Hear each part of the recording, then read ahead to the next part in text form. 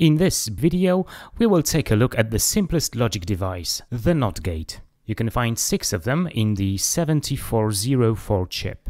It implements logical negation and is often simply called the inverter. This gate has one input and one output. Its truth table is very simple. When the input is in zero state or low, the output is 1 or high. When the input is 1, the output is 0. The little circle at the output usually signifies a negation, like in this symbol. This is my 7404 on the breadboard. I'm using the first gate, which has its input on pin 1 and output on pin 2. I also hooked up inputs of all the unused gates to the ground.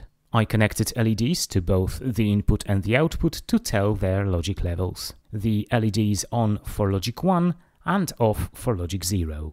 The other breadboard is my contraption allowing me to apply logic states to the gates inputs in these experiments. It is built using flip-flops, which output levels I can toggle by pressing these buttons. We will talk about flip-flops in one of the future videos. Okay, let's make a start.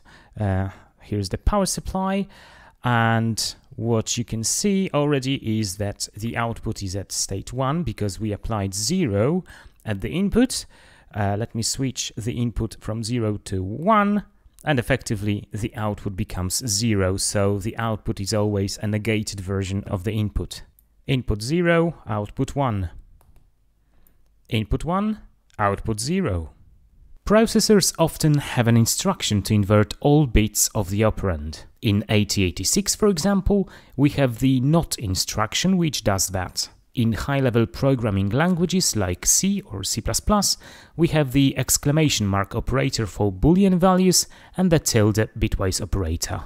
As a final note, let me just mention the buffer gates like, for example, 7407 or 7417. They also have one input and one output, but unlike the inverters, then do not negate the signal. Whatever state the input is in, the buffer repeats it on the output. You may ask what could be the reason for using a gate which doesn't modify the input state in any way? One of the reasons is that another input may need to be driven by an open collector type of output. The second reason could be to shape up a noisy signal coming from a long line using a Schmitt trigger input. Both of them will be discussed in more detail in one of the next videos where we talk more about different variants of the gates. That's it for today. Thank you for watching and I hope to see you soon.